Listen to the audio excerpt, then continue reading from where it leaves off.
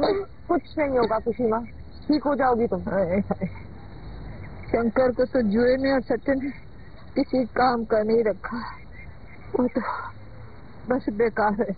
और बेटा, मेरी बात मान।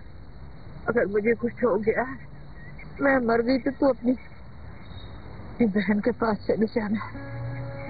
वो तेरी सच्ची बहन है। तेरे हाथ पीले करा देगी।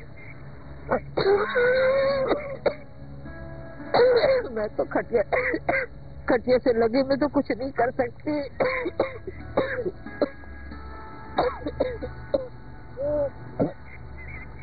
क्यों करती हो ऐसी बात? तुम बिल्कुल ठीक हो जाओगी, कुछ नहीं होगा तुम्हें। लोग बीमार होते हैं, फिर अच्छे हो जाते ये रोग तो जान लेकर जाएगी।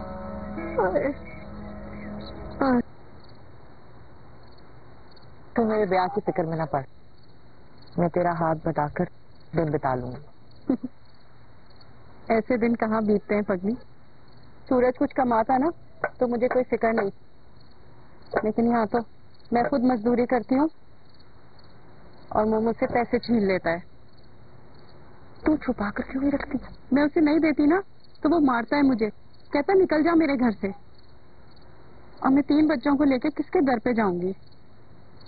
यहाँ कम अज कम छत उनको मिलता है जो बड़ा दहेज देते हैं। तू ठिकाना दे नहीं तो यही पड़े पड़े बूढ़ी हो जाएगी ये।